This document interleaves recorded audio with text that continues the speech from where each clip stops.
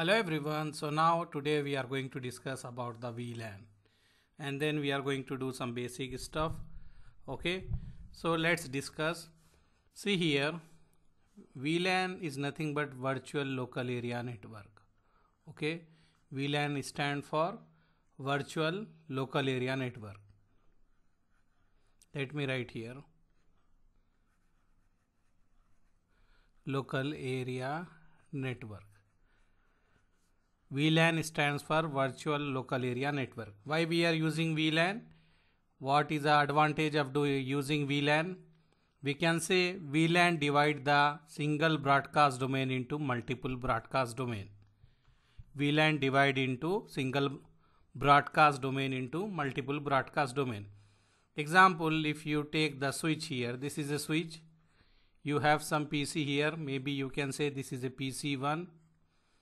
Okay this is a PC1 you have one more. This is a PC2 and uh, let me give the number also. This is PC2 we can let me take my blackboard okay? Or let me take the whiteboard. So this is a PC1 PC2 we have one more PC here. We can say this is a PC3 and let me take one more PC here. We can say this is a PC4 okay? So here first time when we power on the PC because if you remember if we are not using the device that is our computer is not communicating after some duration the switch is going to remove all the MAC address. Okay switch is going to remove the MAC address. I hope you remember that switch is going to store the MAC entry in the MAC table. After 5 minutes they are going to remove that one. Okay so first time when this PC PC1 that is 192.168.1.1 is trying to communicate 192.168.1.2 first time this switch don't know the MAC address of the PC2 so what he will do he will do the broadcast. Okay so frame will come here and he will send all the ports whatever ports you have from which port we are receiving the frame he is not going to send to that port he will not send here. Other than this port he is going to send to all the ports. Okay? What switch is doing? First time switch is going to send the frame to all the port other than from where he received that frame. Then he will learn the MAC address and he is going to store in the MAC table. After that they will do the communication so this PC can communicate with this PC no issue. But starting first time whenever he should switch is not having the MAC entry he is going to do the broadcast. So we will have the single broadcast domain. Imagine you have 200 switch and maybe you have 500 devices then how much big broadcast you will have in the network? Why means example let me take three switches here. This is a switch 2 I can say I have another switch 3 we can say 3 switches I am taking. You imagine you have 200 switches. Okay? I connected like this. And here also we will have some computer here. Okay? Some PC we have here. I am drawing only 2 PC or 3 PC imagine you have 200 PC or if this port is 48 maybe imagine you have 20 PC here.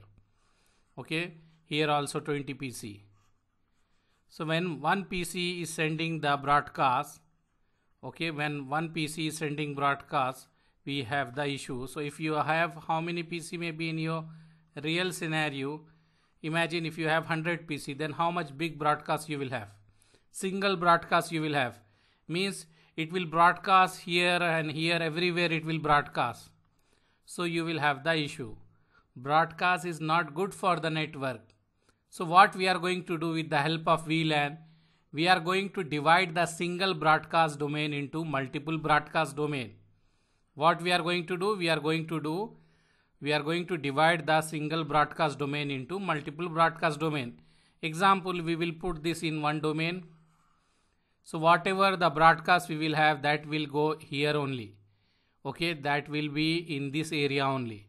And we will have another broadcast domain example. I will make some PC here so this is the separate broadcast domain. This is the separate broadcast domain. so whatever broadcast we will have that will be in the separate domain.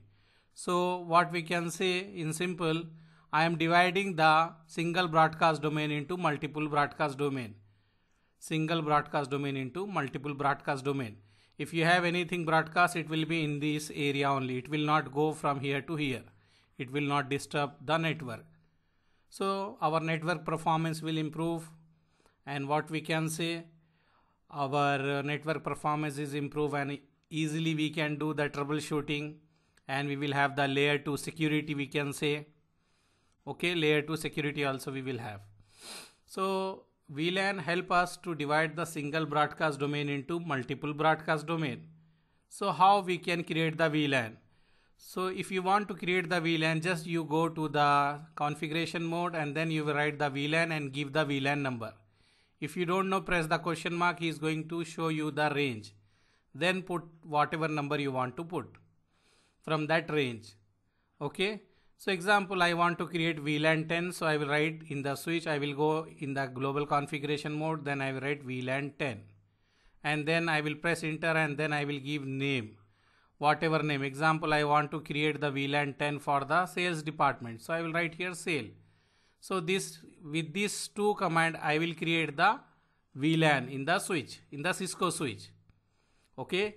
If you are still confused, let me show you. See here what we will do we will go in the global configuration mode then we will write the VLAN and give the number and then you will give the name whatever name you want to give for this VLAN you with this two command you will create the VLAN but if you want to put this interface in that VLAN then you need to go under that interface. Example this is a fast ethernet 0 by 0 then you need to write interface fast ethernet 0 by 0 and then you need to write switch port switch port access you need to write in one line complete line access VLAN give the VLAN which VLAN so this port will go under VLAN 10 okay so this port will go under VLAN 10 so this way we can configure the VLAN so let me revise the theory before closing this one VLAN stand for Virtual Local Area Network. VLAN divide the single broadcast domain into multiple broadcast domain. By default, all the ports of the switch are in the VLAN 1. Okay, if you see this one, this one, this one, all these ports are in the VLAN 1 by default, all this port. Okay, by default we have the VLAN 1 inside the switch and all these ports is, is in the VLAN 1. So if you want to move in different VLAN, then go under that interface and write this command. If you want to move in VLAN 20, then write here 20. If you want to move in VLAN 30, write 30 here. This way we will do. So this is a simple theory and the introduction about VLAN. Why we create VLAN means we can say VLAN divide the single broadcast domain into multiple broadcast domain. That's why we use the VLAN and by default all the ports are in the VLAN 1 and we can say that we have the different types of VLAN. We have the standard VLAN, extended VLAN. Standard VLAN range is, I can write here, standard VLAN range is from 1 to 1005. And we have the extended VLAN, that range is, I can write here, extended VLAN 1006 to 4094. If you are creating the VLAN from this range, then it is known as standard VLAN. If you are creating the VLAN by using this range, that is known as extended VLAN. Okay, so this is just simple theory. We are going to do the lab, so you will have more idea how we can create the VLAN, all that one. Now just try to remember, we are creating the VLAN, we are creating the VLAN to reduce the broadcast domain, single broadcast domain into multiple broadcast domain we have standard VLAN, extended VLAN. If this is a range, then it is known as standard. If we are using this range, that is known as extended. Okay. I hope this theory is okay. So we are going to do the lab in our next class. This is just VLAN overview. Okay. What we can say, this is a VLAN overview. This is simple only. In interview, if anyone asks you, you can say VLAN is used to divide the single broadcast domain into multiple broadcast domain. Example, this is a one physical switch.